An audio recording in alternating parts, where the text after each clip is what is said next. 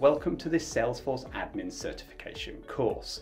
This course is for all those people who want to take and pass the Salesforce Admin Certification. My name is Francis Pindar and I've been working in Salesforce for over 10 years now.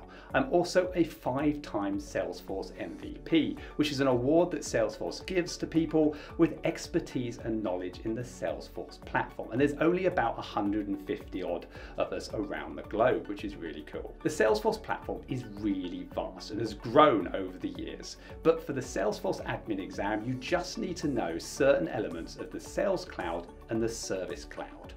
So you don't need to know everything. So I've aimed this course so that if even if you don't know anything about Salesforce, you'll be able to pick it up and by the end, hopefully have the skills for to take the Salesforce admin exam.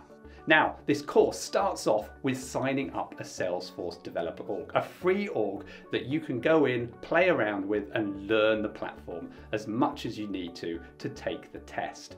No coding is needed, so you don't need any prior knowledge of coding. This is all click development. So we'll be creating an invoice app and adding process automation around the app. We'll then look at reports and dashboards and we'll do a deep dive into the Salesforce security.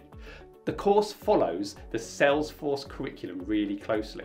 So when I deep dive into something, it's because the curriculum says that you do need to have a good depth of knowledge within it. But for areas where they just need to kind of a rudimentary information of you know what the tool is or what the feature is, then I'll just kind of gloss over it and give you enough information that is required for the exam. So finally, you'll have questions in there and test questions for you to test your knowledge throughout the course, as well as a final test exam at the end of the course. But otherwise, the whole course should be there targeted at you passing your admin exam. So good luck and have fun.